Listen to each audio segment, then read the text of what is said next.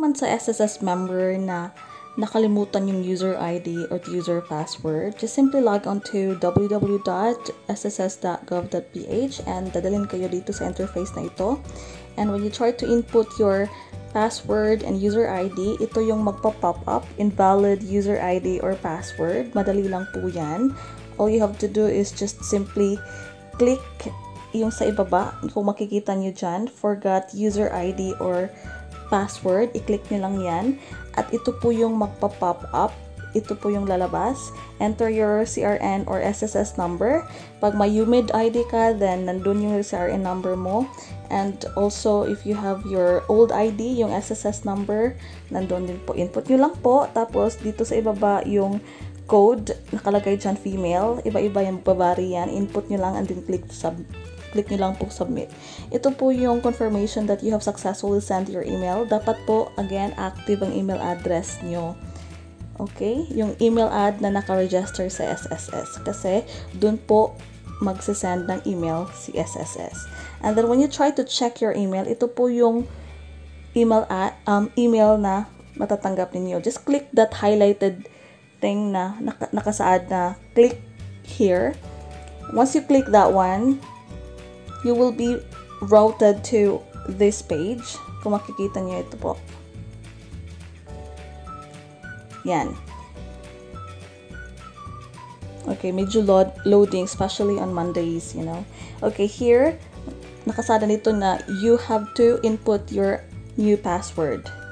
Okay, so dapat po, yung first characters is alphabet, big letter, and then the rest is, it could be small letter, and don't forget to put numbers in your password. Okay? And then click OK. Dito po, and then click submit na lang. Okay? So, ibig sabihin ito, dahil nakapasok na tayo, is successfully changed na po yung ating password. At paalala lang po, dapat tandaan ang inyong password at user ID. Kung wala kayo dalang ballpen, you have your phone with you, just write down on the phone. Okay? Yes. Naman ipapakita ko kung paano mag-reset or mag-change ng password.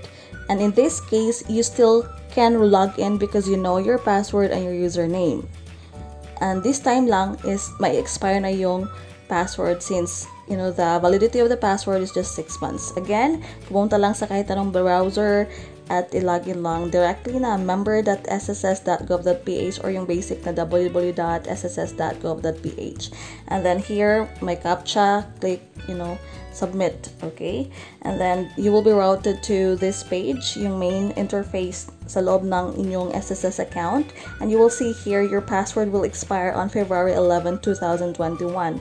That's very near na po. So, drop, click nyo lang po yung tab na member info and change password. Ito po yung member change password. You need to input your current password and then the next thing you will do is to yes, you have to make sure that you will have your unique password. Dapat po yung password is big letter ang nasa una, then the rest is small letters, and then dapat po may number. And of course, dapat madaling tandaan. Kayo po mismo yung pipili, tapos kayo din po mismo yung of course, to yeah, mag remember niyan.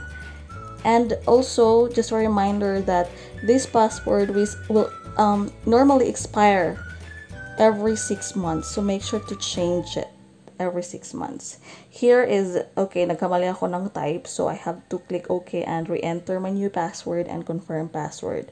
So I will do that one more time. And this time, it's successfully changed. So ganun lang po. So try natin mag-log out and log in gamit yung bagong password ko. And I think it is successful. So, ayun, okay na, meaning to say, I successfully changed. Again, remember yung password niyo po. Okay?